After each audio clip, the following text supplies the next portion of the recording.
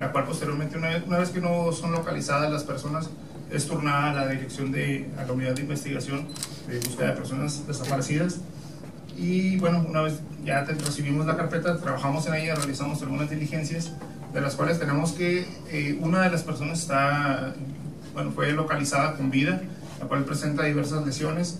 Eh, obviamente por la naturaleza de las lesiones es trasladado a una clínica a la ciudad de San Luis, dada la cercanía donde fue localizado, y las otras dos personas aún continúan en calidad de desaparecidas. Este, desde luego estamos realizando diligencias para pues, lograr su ubicación. ¿Qué indicios se tienen respecto a las circunstancias en las que fueron llevados de la libertad? Ok, eh, bueno, dada la naturaleza del hecho, eh, me gustaría pasar algunos datos porque son datos este, propios de la carpeta, más sin embargo le puedo decir que fueron eh, privados en, eh, en el Valle, propiamente en el ejido Colima 2. Este, hay, hay información que estas personas circulaban en un vehículo al parecer con reporte de robo. Este, digo, todavía está, porque el vehículo parece que tiene reporte de robo en extranjero. Eh, estamos por corroborar el dato.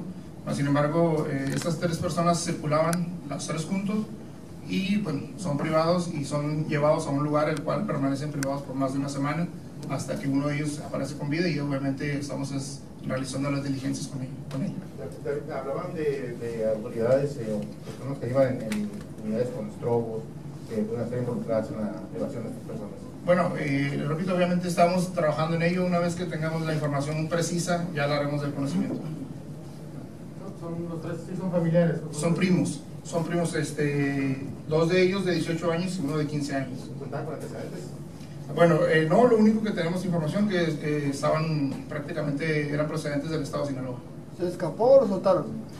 Eh, a parecer se escapó. ¿El de 15 o el de.? ¿Qué, qué ha podido decir respecto a sus captores? Eh, ¿Pudo dar, proporcionar algún tipo de datos? Ok, eh, dadas las circunstancias de la salud de la persona y eh, obviamente esta persona presenta un, un impacto de bala, para ser precisos, no está en condiciones todavía de declarar y emitir un posicionamiento sobre, su, sobre la captura y sobre los hechos. Obviamente ya solicitamos la colaboración del Estado de Sonora para que en su momento nos, hagan, este, nos faciliten y hagamos una entrevista ya cuando las condiciones de salud nos lo permitan. ¿El estado de salud cuál es? Está delicado. está delicado. ¿De ¿Dónde tiene el impacto?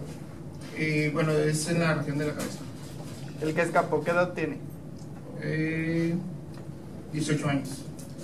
¿Ya esta fiscalía tuvo acercamiento con los familiares Ya. de las víctimas? Sí, ya desde luego, de hecho, eh, eh, digo, obviamente estamos tratando de las dos personas que están en calidad de desaparecidas.